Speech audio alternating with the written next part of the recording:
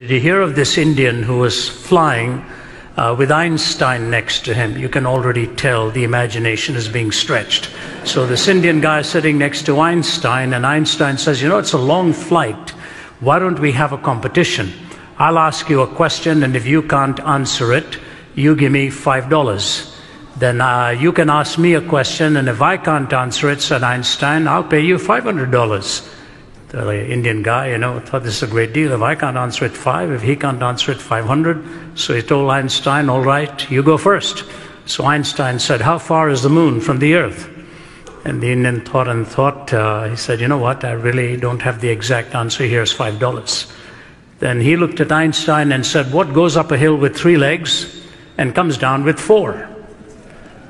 And Einstein worked through all of his knowledge of science, couldn't figure out what he was talking about, put his hand into his pocket and gave him $500. Einstein's turn again. Einstein said, Before I ask you my next question, what does go up the hill with three legs and come down with four? And the Indian put his hand into his pocket and gave him $5.